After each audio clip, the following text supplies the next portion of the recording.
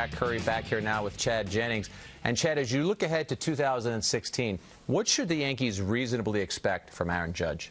Well, we just saw it. Dave Winfield, Giancarlo Stanton. It's good we're keeping it. Uh, you know, we're not we're not overblowing it at all. But I, look, the, the, expectation.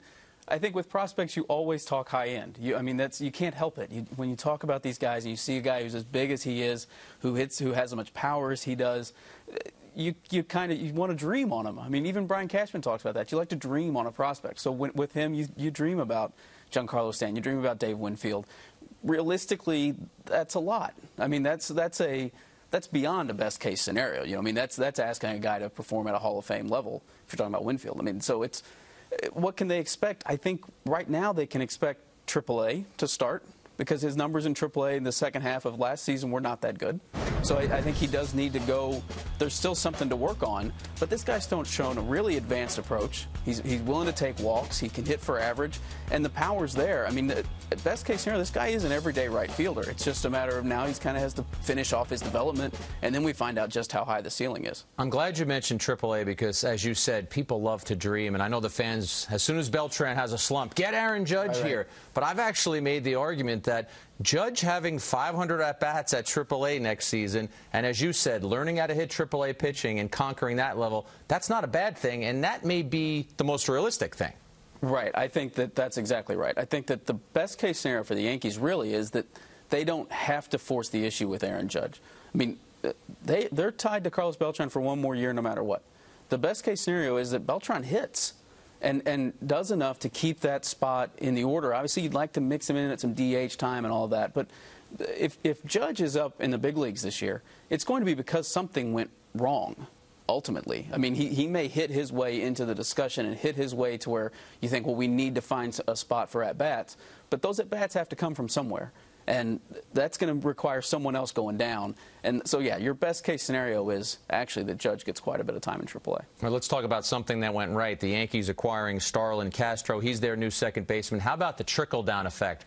Robert Refsnyder was a guy who was supposed mm -hmm. to be in the mix there now. What do you see for Refsnyder? Well, I mean, I think Refsnyder is going to go back to AAA. And, and again, I don't know that that's the worst thing in the world. You're, we talked about for years that the, that the Yankees didn't have a good backup first baseman in place for those years when Teixeira kept getting hurt.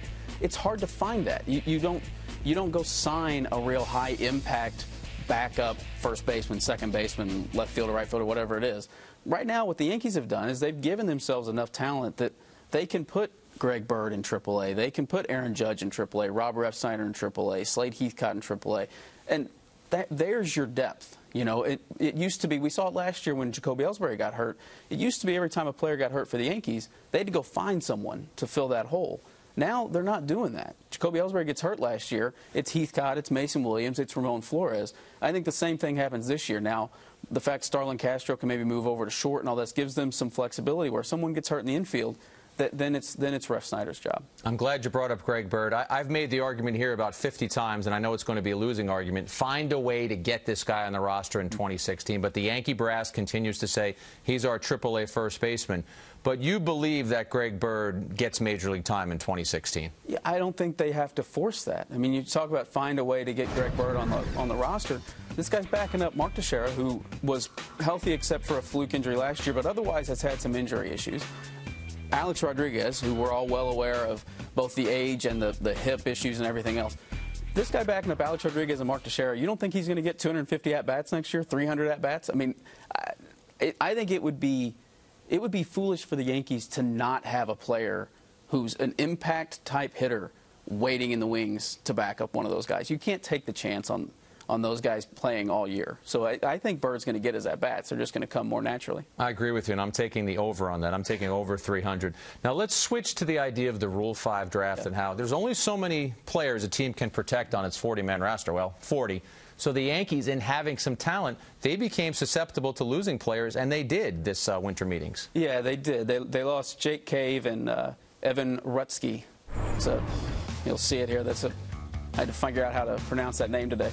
But so they, they lost those two guys. The Rule 5 draft is all about giving a player an opportunity. A player who may be stuck and overshadowed in one organization, he gets a chance somewhere else. So the fact the Yankees are losing players here is a good sign for their system. I mean, that Jake Cave in almost any other situation would have been protected on the 40-man roster. But the Yankees don't have room for that. They already have two everyday left-handed outfielders. They have Heathcott, they have Mason Williams, they have Ben Gamel. They don't have space for him, so now he's going to get an opportunity with the Reds. Rutckyj, same deal. They have so many lefties right now. Jacob Lindgren, Chase, Chasen Shreve, James Pazos, Tyler Webb that they could afford to take a chance on this guy. And again, he's going to get now he's going to get a chance with the Braves. And for those who don't know the particulars of the Rule 5 draft, this is worth the risk for some of those teams because all they have oh, to yeah. do is pay $50,000 and then they might offer the player back for $25,000. So it's basically a $25,000 risk for a team like the Reds or the Braves. Yeah, it's low risk for the team that takes him and it's and it's a great opportunity for the player. I mean, Jake Cave, just to use the example, is going to now he got taken in the Rule 5 by the Reds. So he gets to go to spring training with them to get a real look to make their major league roster. And if he doesn't make their big league roster, well then the Reds have to give him back to the Yankees or at least have to offer him back to the Yankees. But it's just an opportunity. I mean, that, which is what you you hear players talk about that all the time. What they want is an opportunity. And Cave and and Rutckyj because they were in this system, they were pretty blocked here. And so this is a good chance for them to get a get a look with, with another organization.